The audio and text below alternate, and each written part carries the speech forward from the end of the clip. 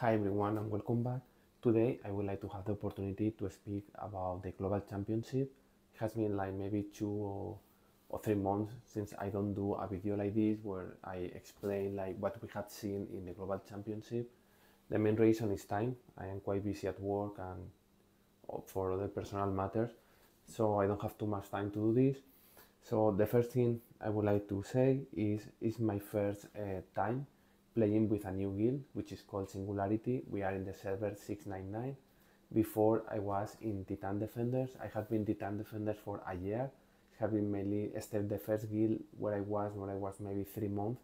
Was the first time in the game, so not too much. I moved uh, to Titan Defenders. I have been always there. Has been always the place where we have played we were not like royal, but uh, we were able to go one time to relegations. Okay, which relegations means uh, we play against a royal uh, guild to try to enter royal. Okay, this is the, the idea. However, we didn't do it, but it was perfectly fine. So what happens here for the gossip is it was nothing good or bad.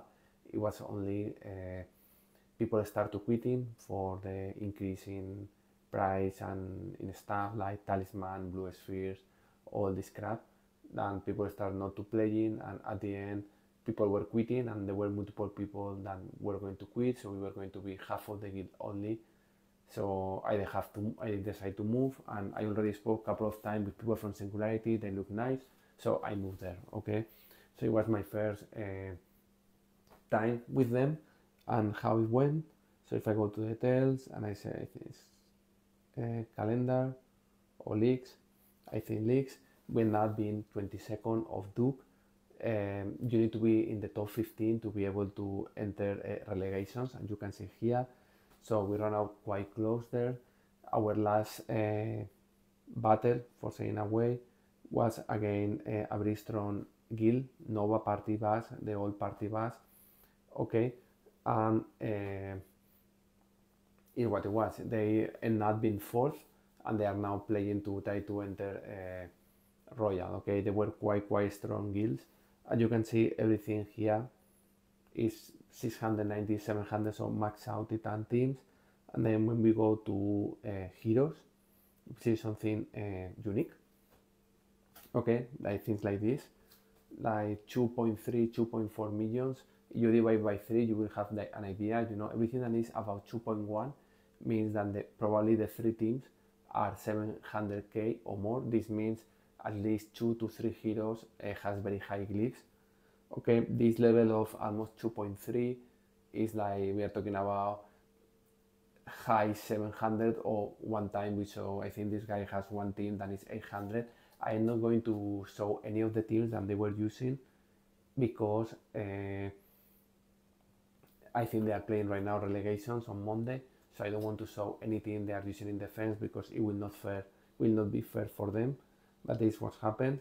If we go back to all the guilds we fight, we lost against Golden Lions and also currently are playing in relegations also. I think they got seventh, Duke or something like this. Then we lost against Unicorn of Valor.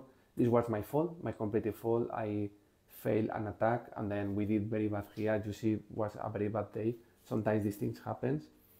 Phoenix, I don't remember, uh, was very close, okay. And then I think it's the only one we have. Yes, this is the only two. Honestly, I think makes sense to lose against Golden Lions, against Unicorn of Valor. I don't know what happens there. Uh, it was a bad day for us with 3 6. We should have been able to win them, but bad day or very good day for them, or maybe they, they are better and that's it, simple like this. But in my opinion, we have a very bad day and this one here, it was me. I failed uh, one battle that was a super stupid battle, and here. And it was quite uh, interesting because I tested and tested and tested against a higher team. I was getting 10 0, 10 0, 10 0, and then I got uh, I got a completely loss, and I did I wasn't able to kill any hero, which was the worst cleanup ever. Um, now I know what is the proper counter here. It's not this at all. Um, these things happen sometimes. Was a mistake and then we lost. If we had won this, maybe we are right now playing in relegations. Okay. So saying this, what I see new, what I have seen change, I will put it in defense and in attack. In defense, I see a change in uh, Oya Tristan and a change in Dante Octavia. I see for Dante Octavia, I see mainly, let me see, where is Octavia here? I see mainly two trends. The old trend of putting Jasmine as a first line, maybe like Sebastian Lara, Sebastian Morrigan, and Nebula Lara with Jasmine in first line. Okay, particularly you have uh, Jasmine level 70 or 75, 80. Okay, the idea is to have a Jasmine with al- at least 220, 240k of health. Okay, with a lot of dodge particularly with the new talisman, the second talisman, okay? The new trend that I have seen also is the use of Oya. Okay, this is new. I never see this before. It's quite uh, interesting using Oya there. And then they play with uh, Sebastian. Remember to use the old talisman or the first talisman of Dante because it has critical hits. And then here people play with Lara. Uh, I have seen multiple options here, but probably this is the most common one. Then I see playing with Lara there. I see people playing with Cascade and this type of things. Okay, this is the new thing, playing Oya as a first line, because when Dante activates her, his ability to give dodge to everyone else, it will give dodge to Oya. Oya will start dodging. If it does, it charges herself because of Octavia and also gets armor penetration. And this is the key. Oya getting armor penetration okay, and being charged with energy is very dangerous. Particularly, this team is very, very, very strong when it arrives to levels of uh, Oya level 70 or above, okay? I can see this and it's quite a good team in, in defense, okay? It has a particular counter, but it's difficult. The disadvantage of this is you lose uh, Oya Tristan, okay? This is the disadvantage here. Another thing that I have seen trends is we see always this Tristan, Kayla, Aidan, Oya. Oya and Aidan? Okay, and a tank. I have seen this less and less and less. I see more uh, playing with another damage dealer, playing with Fafnir instead of, Aidan, and using Aidan in your second and your third team. Much, and the reason of this is because there is a team that use Tempus the, with Iris then is very strong okay against this team. Okay but this is the other um, the other trend i have seen. I have seen also people start not using uh, oya tristan uh, at all. Like oya with uh, dante octavia and tristan not being used. I start to see this trend particularly since the release of tempus. Okay for attack what i have seen at least i was reviewing all the dante octavia teams which heroes we will use to beat them. And one thing uh, I realized is since the release of the second talisman of Astaroth, Astaroth is being used against Dante Octavia as more as uh, Andvari, and sometimes both of them. Okay, like particularly people who start to get in Astaroth level 60, 65, they are using Astaroth with Andvari, also level 60, 65, and they are getting very good results. Okay, these two tanks together against Dante Octavia. Before you didn't see that much Astaroth, it was mainly Andvari, and then sometimes Ziri. But with the new talisman, you have a high glyphs, Astaroth can get very uh, high level of armor. So you go to Astaroth, okay, and you go to stats, you will see Astaroth with the new talisman is 43, with high glyphs it can go to 50k, which if we go to Ziri, level uh, 40 okay.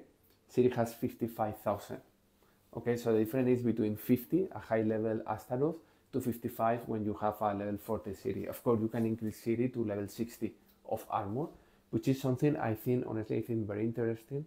Like I think a Ziri level 70 75 almost 80 will have like 1 million health.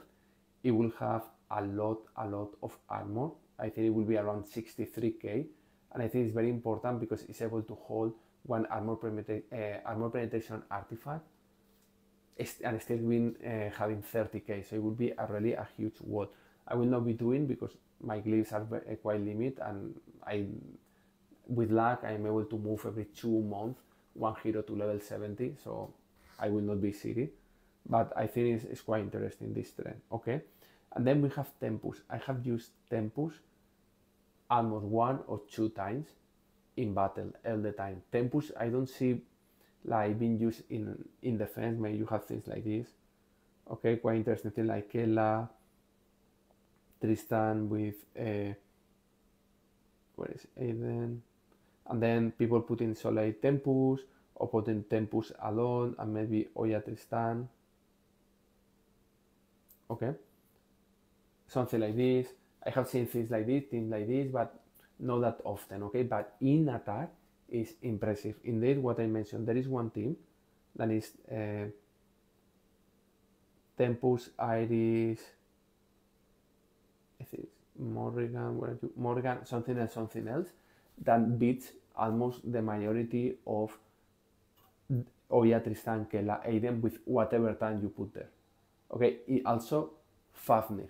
So all these Oya, Tristan, Kela, Aidan with this team, you can beat them with plus two. I will not put the other two because it's uh, something we are practicing the guilds. I will not say. So the good thing of this team is you need to play with uh, Astrid, you need to use Corvus, you need to use Morrigan, uh, sorry, you need to use Corvus, you need to play Astrid or Lara or your own Dante Octavia. Or, so using this team against this uh, Oya, Tristan, Kela, Aidan, you can still having your own progress team, your own Oya Tristan, your own Dante Octavia, Astrid, Cascade, Lara for the other two teams. So quite good, and this is the reason that I think Kela, Aidan, Oya Tristan all together in one team is not going to be played anymore. Okay.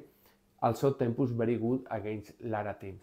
So you have teams like, for example, team that is quite famous is the Julius, Nebula, Soleil. Okay, in and then you play Lara with maybe Isaac or Lara uh, Fafnir, things like this. Quite strong. I have seen also in defense. So Tempus will neutralize Lara quite well. So take uh, care about this. Okay. In attack, also mention this. Uh, I have seen a lot of uh, progress teams with Soleil in defense. Variation of it. If you see this and you go with this team, you probably will beat almost all the progress teams sometimes you need to put kid and put Astrid instead or put uh, maybe uh, other hero depending on what is in front of you. But this team that you are seeing almost beats all the uh, Lara Progress or Astrid Progress or Ginger Progress teams. Okay, and this is what uh, I have seen in victories. Like I will not have time to be honest because I think this is going to be reset in. I think maybe in Rome, maybe in uh, seven minutes. I don't know, I seven hours. I don't know if it will be reset or it's after they give you four or three days of break. I don't remember. It, it will be the case or it will start already tomorrow. But it's going to be starting tomorrow. I will not be able to to do to show the videos of the battles that we have done. But uh, also because I need to remove all the guild names and all this is a lot of work and I don't have this work right now. But trust me what I said and this is the things I am seeing and particularly the guilds like Golden Lions, like Nova Party Bus or Adelphos, all these are very high, high Duke uh, guilds, okay? The same than our guild has finalized in 22. We are talking about top 25 uh, Duke guilds, which are Duke is the division below uh, Royal. So we are talking about top 50 globally, okay? So and it's what we have seen so far okay? So let me know uh, if it's helpful this if you would like to do more tests or show you other tests or anything but i cannot show you uh, battles because people complain that i show uh, the name of the guild the name of the person and which level the heroes has and then they complain that this information should be hidden and i don't have time now to edit videos of battles and battles and battles okay? Hope it helps and see you soon